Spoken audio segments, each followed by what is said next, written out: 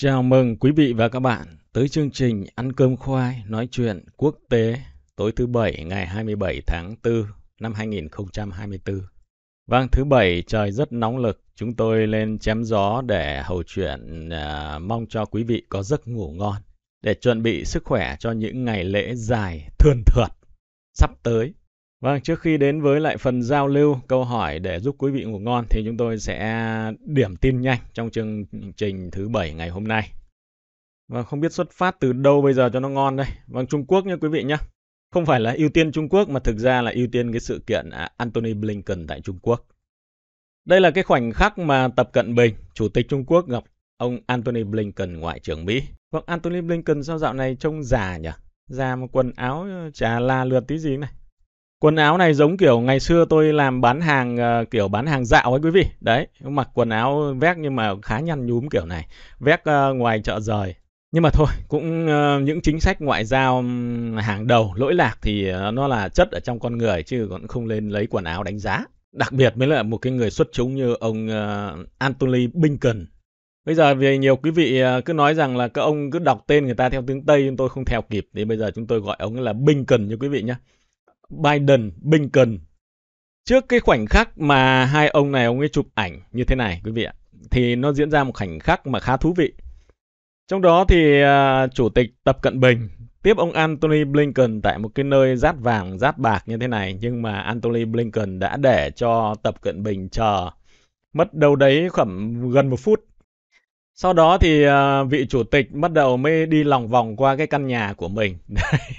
nhà của chủ nhưng mà lại phải chờ khách. À, sau đó một phút sau, trước khi ông ấy đến khoảng 5 giây thì uh, Tập Cận Bình đã mất kiên nhẫn đi lòng vòng và hỏi đám cận vệ là thế bao giờ thì ông ấy rời khỏi nước ta để chúng tôi được nhờ. Và trợ lý của ông nói rằng là thôi ngài cố gắng lên, chỉ đêm nay là ông ấy đã rời khỏi đất nước chúng ta rồi. Và như vậy chúng ta cũng đã biết đúng không ạ? Uh, chuyện xảy ra nó đã xảy ra. À, bây giờ chúng ta thử đi một vài những cái sự phản ứng của báo giới liên quan đến chuyến đi này. Thế còn uh, thực tế chuyến đi của ông uh, Blinken, ông ấy đã đưa ra những cái yêu sách quá phận đúng không ạ? Và tất nhiên đã ôm hận. À, như chúng tôi đã phân tích cùng quý vị. Thế giới uh, tờ New York Times thì nói rằng là uh, chuyến đi của ông Blinken cho thấy cả hai quốc gia đang cố gắng để mà cứu được cái gì thì cứu. Còn họ đều biết rằng ở trong những lĩnh vực mà họ còn sự hợp tác với nhau thì cũng đang uh, có thể nói thui chột một cách rất nhanh chóng. Tờ Thời báo Tài chính thì nói rằng hợp tác của các bên hai siêu cường đang tạo ra những bước tiến đáng kể ở một vài lĩnh vực cụ thể. Nhưng mà đồng thời thì dạn nứt cũng càng ngày càng tăng cường ở một vài các lĩnh vực đặc biệt như tình hình ở khu vực uh, Biển Đông. Tờ Hin thì nói rằng là chuyến đi của Blinken à, với mục đích phát triển và duy trì một cái đường dây liên hệ mở với lại chính phủ của Trung Quốc giữa bối cảnh quan hệ ngày càng căng thẳng. Thế nhưng mà chuyến đi đã kết thúc mà không có bất kỳ một cái tuyên bố hợp tác nào có thể nói rằng đã kết thúc trong thất bại. Vâng và sau đó thì à, người ta đã nhìn thấy cái bức ảnh của ông Antony Blinken tại sân bay Bắc Kinh trên đường ông chuẩn bị về nước. Và có thể nói là một cái nỗi hổ thẹn ngoại giao ờ, theo như cộng đồng chức quốc tế nói chứ tôi không tô vẽ ra à, rằng là không có bất kỳ một quan chức ừ, Trung Quốc nào đến uh, tiễn đưa ông. Chỉ có mỗi một cái vị đại sứ tức là nhân viên của ông tại Bắc Kinh đã ra để tiễn đưa người sếp của mình về trong một không khí có thể nói rằng là rất uh, vâng may mà có ánh đèn nó, nó chiếu sáng chứ không có đèn thì cũng không nhận ra là hai là là người uh, nhà ngoại giao hàng đầu của siêu cường thế giới. Như vậy là kể về uh, cái ý nghĩa của chuyến đi mục đích của chuyến đi thì đã thất bại. Còn có thể nói rằng là cái hình ảnh uy tín của chuyến đi của ông Antony Blinken cũng như các chuyến đi của ông và các quan chức khác thôi. Nhưng đặc biệt là ông Antony Blinken có thể nói rằng Chúng ta thấy chính sách ngoại giao của nước Mỹ trong những năm vừa qua nó thất bại, đúng không ạ? Nó thất bại uh, bởi vì những nhà cầm quyền.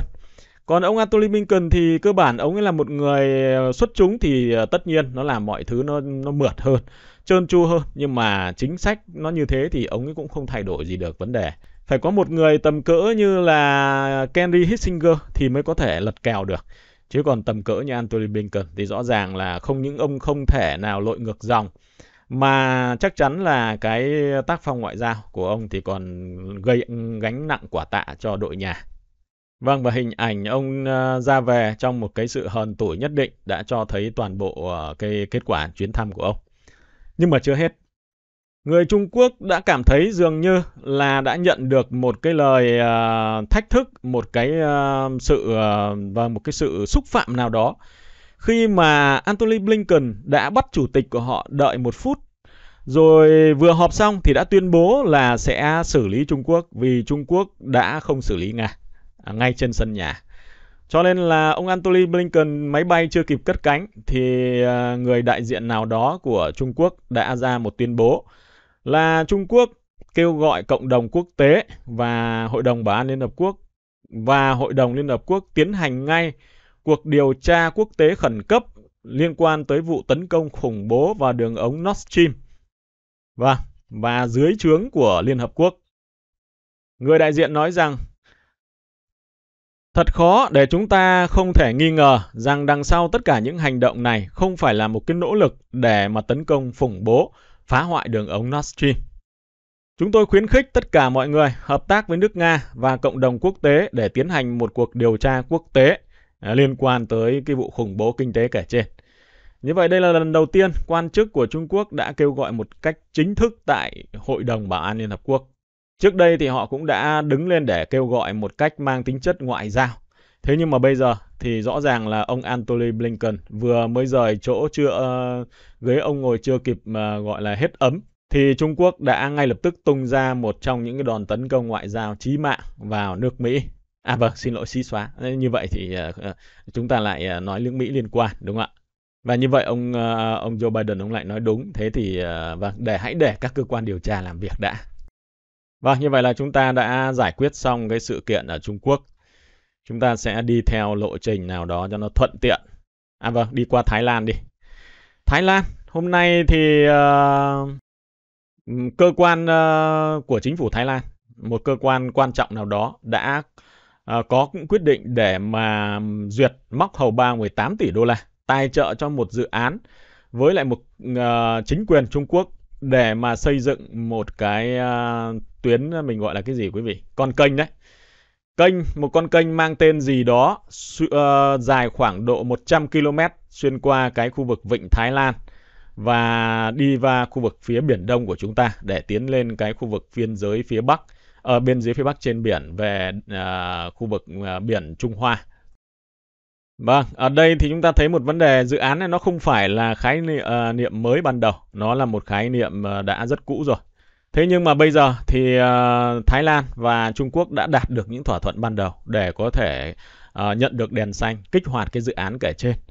Dự án này thì nó có ý nghĩa như thế nào? Ờ, vâng, nhiều quý vị à, cũng có thể à, đã nắm hết được những thông tin này rồi, nhưng mà chúng ta chúng tôi có thể bàn thêm.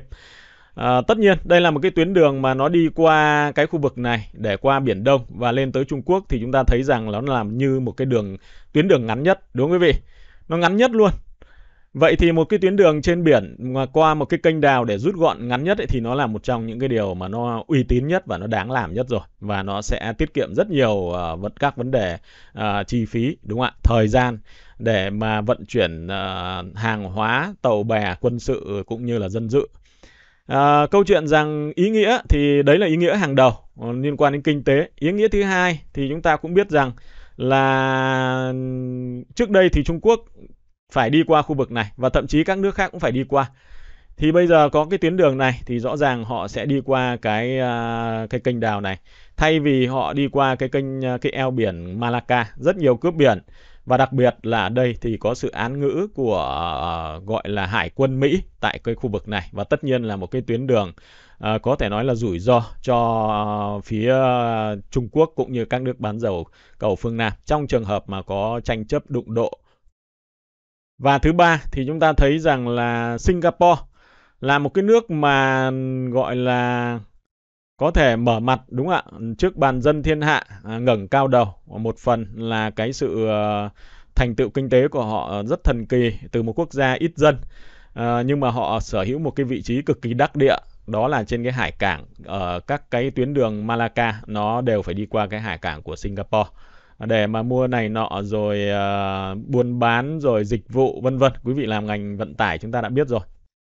Thì uh, chính đường uh, tuyến đường Malacca là một trong những huyết mạch kinh tế tài chính của Singapore. À, và bây giờ nếu như nó được thay thế bằng cái này thì chắc chắn rằng Singapore sẽ mất đi một cái dung lượng lớn liên quan tới những cái uh, nguồn tài chính đến từ cái hoạt động hàng hải. Như vậy là có nhiều ờ, thứ để nói nhưng mà chúng ta thấy rõ ràng là ba yếu tố ảnh hưởng rất nhiều. Tất nhiên một dự án quan trọng như này thì nó cũng dẫn tới một cái sự quan hệ khăng khít hơn của Trung Quốc với Thái Lan và chắc chắn là nó thách thức cái vị trí uh, của người Mỹ trong cái quan hệ của mình với lại Thái Lan vốn cũng là một cái nước được coi là một cái đồng minh của Mỹ tại cái khu vực. Vâng, thế giới đúng là càng ngày càng nhiều chuyện hay. Pakistan, Iran. Ngày hôm qua thì hai quốc gia uh, đã vẫn tiến hành họp hành ở cái uh, quan chức cấp cao nhất sau những cái áp lực uh, cái gì áp lực cực kỳ ác liệt từ phía người Mỹ. Uh, người Mỹ cũng nói thẳng uh, giống như kiểu là người Mỹ đến Trung Quốc thì nói rằng là không làm thì sẽ cấm vận. Và tất nhiên thì đối với các quốc gia bèo như Pakistan uh, so với Trung Quốc thì người Mỹ cũng đặt thẳng vấn đề. À, nếu các ông mà hợp tác kinh tế đường ống đường yếc thì chúng tôi sẽ cấm vận thế nhưng mà lần này thì Pakistan đã không lùi bước hai bên Pakistan Iran hôm qua đã chính thức thúc đẩy những cái thủ tục để chuẩn bị uh, tiến hành nối lại cái việc xây dựng để hoàn thiện đường ống uh, khí ga và năng lượng dẫn từ uh, Iran tới Pakistan. Một trong những cái dự án kinh tế quan trọng hàng đầu để giúp cái nền kinh tế Pakistan có thể phát triển.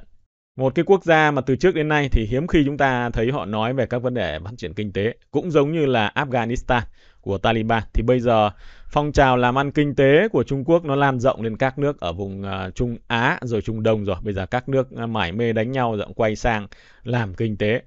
Một lần nữa chúng ta thấy một cái sự uh, tụt giảm ảnh hưởng của người Mỹ ở khu vực Thái Lan, Pakistan, Afghanistan thì đương nhiên rồi, người Mỹ giờ không còn cửa để quay lại mặc dù là các cái lực lượng đặc nhiệm rồi tình báo của họ thì đang hoạt động tích cực ở biên giới của Pakistan, Afghanistan để mà à, vâng, vâng làm gì nhỉ? Mà lấy lại cái ảnh hưởng địa chính trị của mình trong khu vực sau khi quân đội Mỹ rút lui nhưng có vẻ như càng ngày thì vai trò của người Mỹ càng uh, lu mờ. Người Anh cũng ờ, thi nhau đổ tài nguyên vật lực vào các khu vực Tajikistan, uh, à, Turkmenistan uh, để mà cũng lấy lại cái sự ảnh hưởng của mình ở trong khu vực. Nhưng mà bây giờ nhìn thế trận này mà lao đầu vào đây chỉ có tốn tiền tốn của thôi. Sức ép từ phía Trung Quốc sang nó quá kinh dị, sức ép từ phía Nga xuống nó cũng quá ác liệt. Thế giới phương Nam nó đang trỗi dậy bờ dích bờ giếc đúng không quý vị? Cho nên là bây giờ không còn cái thời của phương Tây để có thể làm mưa làm gió ở một cái khu vực mà nó gọi là khỉ ho cò gáy xa thế giới của tư bản phương Tây như thế này. Chưa kể cánh bên dưới thì Iran bây giờ cũng là bá chủ vùng này rồi cũng khóa chặt đường ra đường vào rồi cho nên là các nước vùng Trung uh, Trung Á rất khó để có thể nói rằng là nghiêng hoàn toàn theo Trung uh, theo phương Tây. Chúng ta sẽ lên với khu vực Armenia thì ngày hôm qua chúng tôi đã ừ, trao đổi cùng quý vị liên quan đến sự kiện là người dân của họ đã kéo xuống đường quốc lộ biểu tình uh, liên quan tới việc chính phủ nước này đã đàm phán với lại Azerbaijan để cắt bốn thị trấn gần biên giới cho quốc gia ừ, gọi là ở phía Tây và là một trong những kẻ thù không đội trời chung của Armenia. Hôm nay thì tình huống còn xấu hơn khi mà đã có những cái uh, lực lượng quân đội của Armenia cũng đã xuống đường biểu tình tại đúng cái cung đường đó. Nhiều người nói rằng đây là những dấu hiệu cho thấy là chính quyền của ông Pasia, chính quyền thân phương Tây hoặc là được phương Tây dựng lên đang có dấu hiệu không chỉ lung lay mà rất có khả năng là có dấu hiệu bay màu. Nhất là người ta thấy rằng là sức ép từ phía Iran rất kinh khủng trong thời gian vừa qua. Đồng thời là người Nga, một cái đất nước cực kỳ uh, lợi hại và rất quan trọng cái uh, lãnh thổ Armenia thì rất kín tiếng trong thời gian gần đây. Sau khi họ có những nỗ lực rút quân về nước, cũng vừa mới diễn ra trong hai tuần trước mà thôi.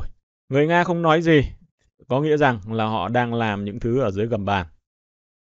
Đến với khu vực uh, ờ, Trung Đông, Yemen, ngày hôm nay thì quân đội Houthi uh, cho biết họ đã tấn công vào tàu hàng của Israel và khiến cho cái tàu đấy nó phát nổ. Uh, tuy nó không bị chìm, nó vẫn về được bến, nhưng mà thiệt hại nghiêm trọng. rồi họ tấn công vào tàu uh, hải quân của Anh không biết là cái tổn thất như thế nào như vậy là chỉ trong hai ngày sau khi mà Houthi tuyên bố là sẽ quay trở lại cuộc chơi ở khu vực biển Hồng Hải thì họ đã bắn liên tiếp 4 đợt uh, vào các tàu hàng và tàu quân sự của Israel và các nước uh, nói tiếng Anh. Tất nhiên là những cái tàu đấy thì chủ thôi chứ còn uh, cờ thì nó toàn cắm mấy cái nước Liberia rồi là cái gì đấy Bahamas vân vân. Còn khu vực ờ, Israel thì ờ, chúng ta thấy ngày hôm nay uh, chính quyền Israel uh, đang phải đón nhận cái cháp ừ, phải buộc phải ra hầu tòa của tòa án hình sự quốc tế La Hay và tất nhiên thì uh, họ cũng nói rằng là họ cũng không quá quan tâm tới cái cháp đó Bây giờ thì quân đội Israel đã tụ tập nhiều trăm xe ở biên giới với lại Ai Cập của vòi giải Gaza vùng Rafah và đã nhận được đèn xanh nhưng mà chưa nhận được tín hiệu xuất kích từ thủ tướng cho nên họ đã chưa mở cuộc tấn công. Trong khi đó thì người dân vẫn đang tìm đường sơ tán tại cái khu vực này à, rất đông đúc, một triệu mấy người ở trên một cái diện tích cực bé.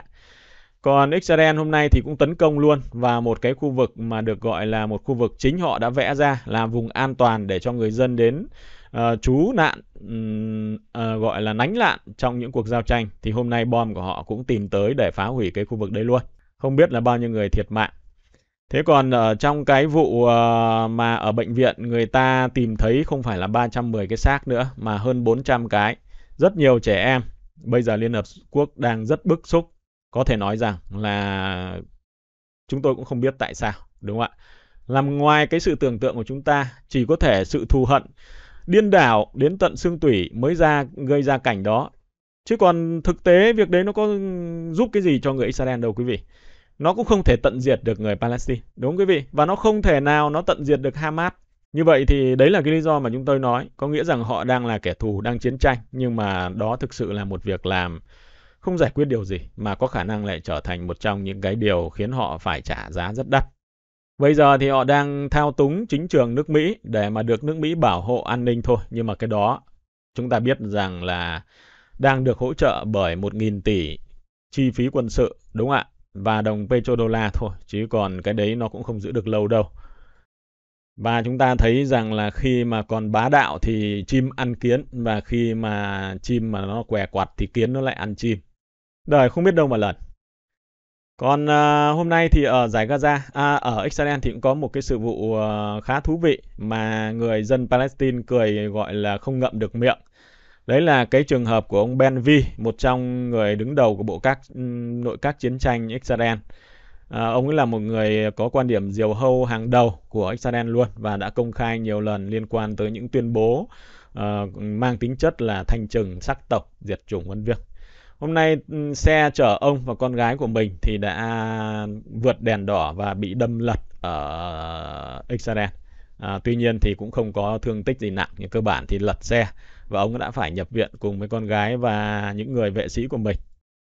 Còn ở Thổ Nhĩ Kỳ, vâng, cái này thì tôi phải mở ra thì tôi mới biết được cái ông Erdogan, ông ấy hôm nay ông chém gió gì liên quan tới uh, Israel.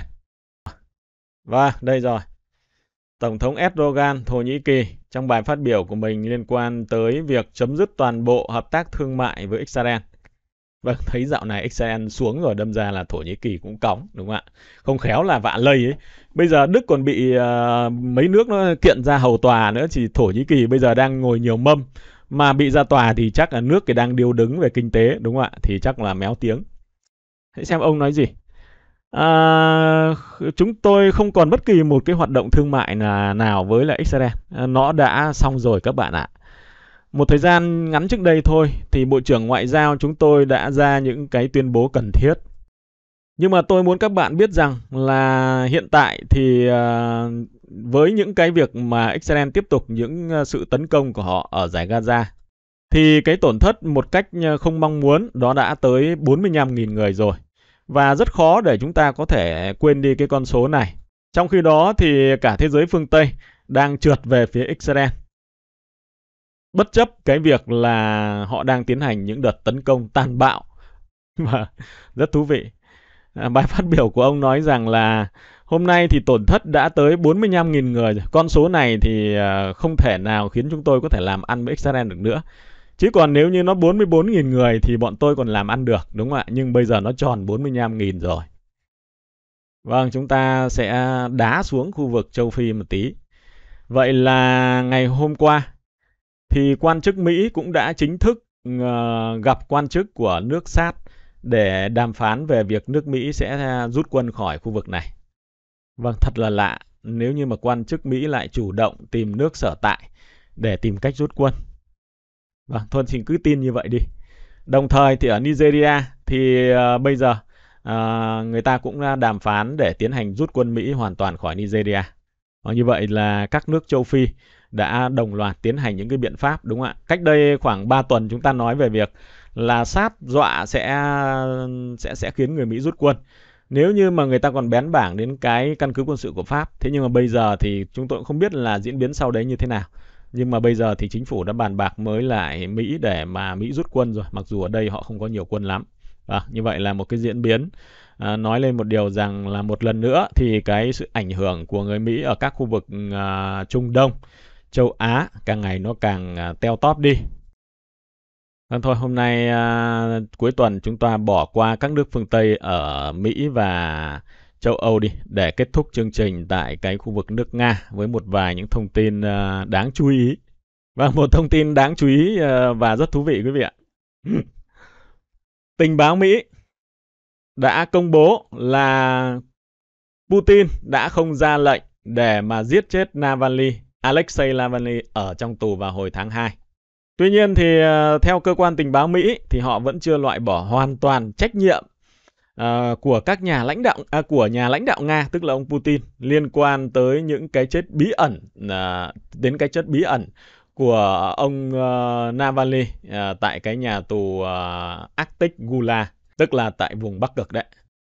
Để nhớ lại ờ, thì chúng ta thấy rằng hồi tháng 2 chính nước Mỹ, sau khi mà Navalny thiệt mạng ở trong tù, thì đã tung ra một loạt các đoàn tấn công cấm vận nắm vào nền kinh tế nước Nga. Thì không biết là bây giờ, tình báo của họ nói rằng là ông Putin không liên quan nữa thì họ có bỏ cái cấm vận đấy hay không, hay là cũng lấy cớ để để luôn mà nói chung là nó cũng chẳng quan trọng nữa.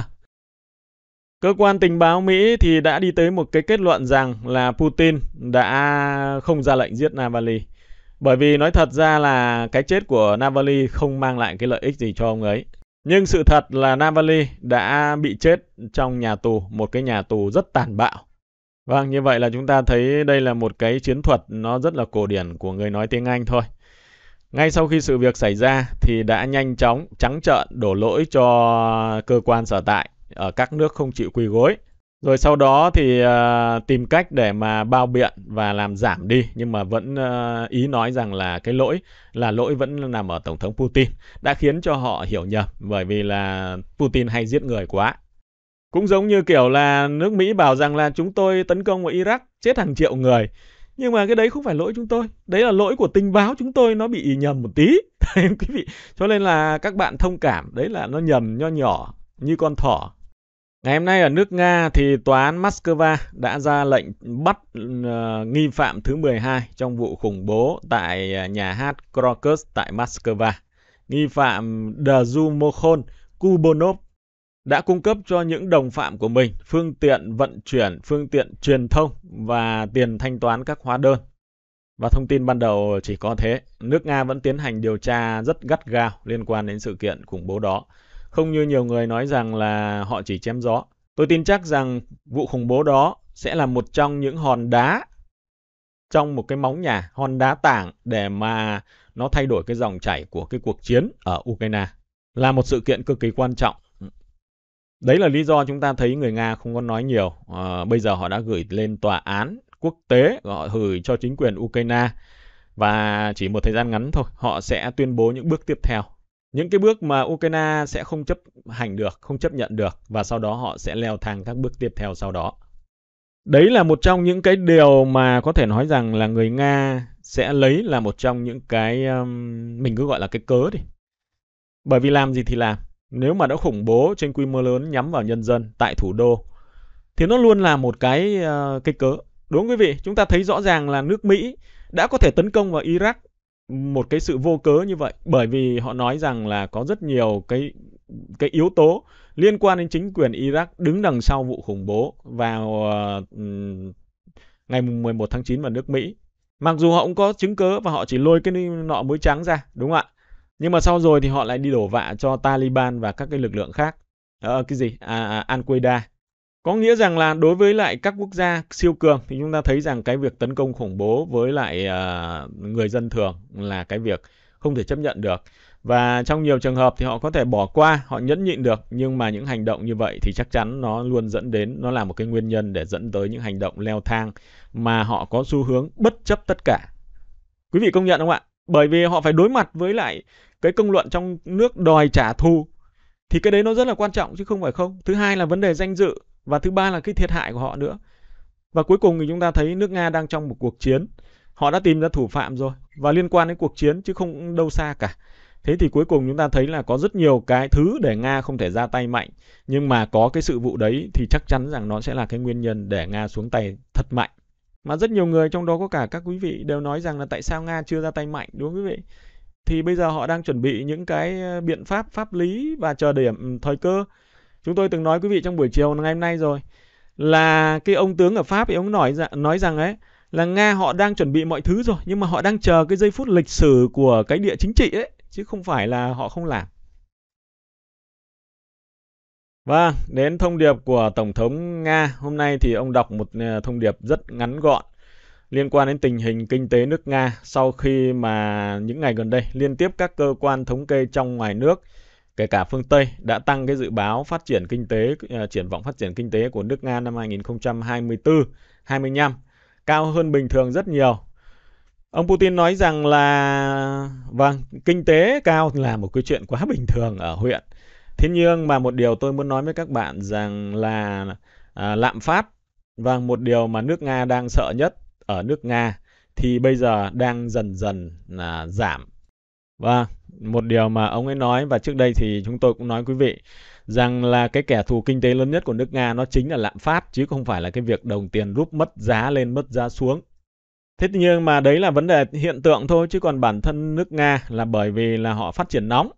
Nói thẳng ra ấy, nước Nga nhờ cấm vận và chiến tranh cho nên đã đi vào quỹ đạo phát triển nóng. Nếu không có chiến tranh thì họ không bao giờ có đạt được tốc độ tăng trưởng đến 3-4% như vậy. Đúng không quý vị? Và đối với nước Nga 3-4% rồi 5% là cực nóng đấy. Bởi vì là những nước cấm vận nước Nga như là khu vực đồng euro thì còn đang gọi là mình gì lạm phát nhưng mà lại kèm theo cả gọi là uh, chết rồi suy suy thoái kinh tế tức là bia kèm lạc đúng không quý vị cho nên là việc nước Nga phát triển năm ngoái, năm nay và năm sau như thế này chắc chắn là khiến, khiến phương Tây rất là nhức nhối.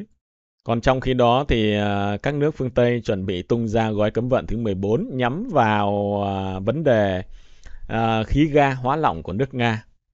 Vâng, đấy là một trong những cái đinh đóng nắp quan tài. Người Anh thì đang nhập dầu của Nga, người Pháp, người Ba Lan, các người châu Âu thì đang nhập ầm ầm khí đốt hóa lỏng. Thế nhưng mà bây giờ thì đang ừ, sửa soạn các lệnh cấm vận và người ta nói rằng là và cái việc đấy thì nó cũng lại một lần nữa lấy súng bắn vào phổi thôi. Mà bắn vào phổi rồi không khéo bây giờ thì bắn lên cao hơn vào ngực ờ, vào cổ rồi vào thái dương.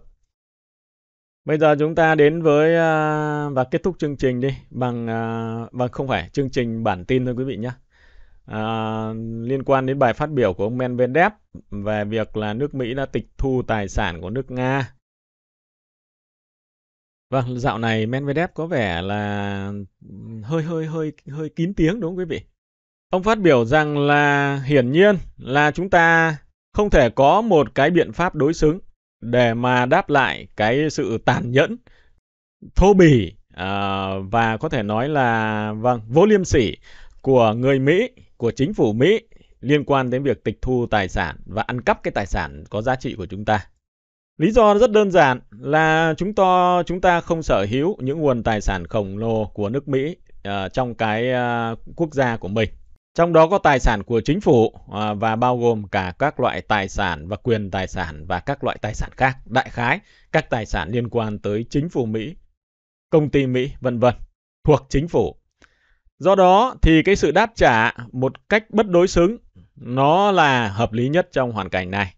Nhân tiện, bất đối xứng không có nghĩa rằng là cái à, đòn đáp trả của chúng ta nó không đau đớn cho người Mỹ. Chúng ta đã tuyên bố bởi chính tòa án tối cao rằng là chúng ta sẽ tịch thu những tài sản của các cá nhân đang nằm trên lãnh thổ của nước Nga, bao gồm tiền, bất động sản, các khoản tài sản có thể di chuyển được các loại và các quyền uh, hợp uh, sở hữu các tài sản khác. Tất nhiên đây là một trong những cái câu chuyện nó rất phức tạp bởi vì những cá nhân người Mỹ đã đầu tư ở nước Nga vào nền kinh tế nước Nga. Chúng ta đã đảm bảo cho họ rằng là những tài sản cá nhân như vậy thì không bao giờ bị xâm phạm.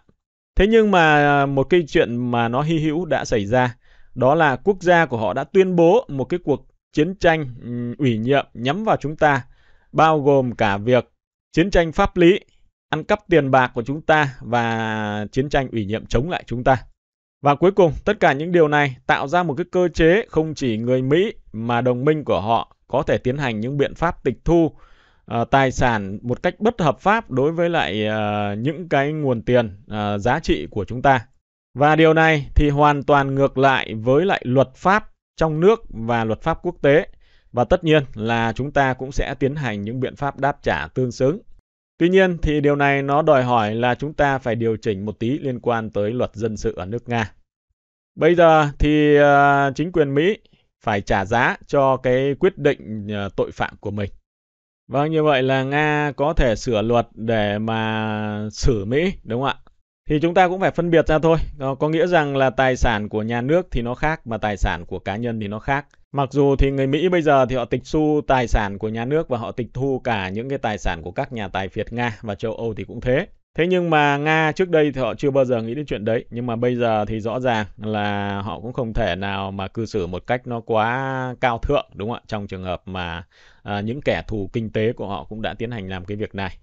Như vậy thì có khả năng à, nếu như theo lời của ông Medvedev trong những ngày sắp tới nước Nga sẽ điều chỉnh hiến pháp, luật pháp của mình để mà kết thúc cái quyền sở hữu tài sản uh, của các cá nhân ở uh, nước ngoài tại nước Nga. Rồi sau đó họ sẽ tiến hành những biện pháp tịch thu. Tất nhiên đây là phát biểu của ông Medvedev thì nó thể hiện cái quan điểm cá nhân của ông đúng không ạ chứ nó không phải là từ văn phòng tổng thống Putin nó không đại diện cho tổng thống mà tôi cũng không biết rằng là tổng thống Nga có làm thế hay không Tuy nhiên thì người Nga đã có một cái cách uh, tiếp cận khá thú vị, họ điều chỉnh luật pháp và họ thay đổi cái uh, thuật ngữ. Đó là không tịch thu mà họ sẽ ờ, đại khái là họ cái chấm dứt cái quyền sở hữu tài sản. Đấy. Thì có thể là họ sẽ đóng băng đúng không ạ? À, những cái tài sản đó uh, của những cái cá nhân hoặc các công ty của Mỹ ở tại Nga.